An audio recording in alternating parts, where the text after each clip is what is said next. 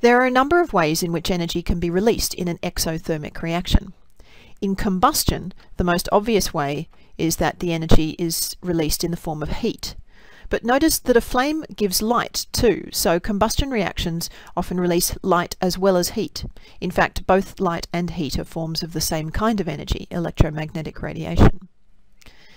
In luminescent reactions, the energy is released as visible light without heat, which is why these reactions are some, sometimes called cold light. Glow sticks and the flashing of fireflies and glowworms are examples of luminescent reactions. Chemical explosives release energy as mechanical energy and sound, as well as heat and light. Touch powder is a very unstable compound that explodes when it's touched.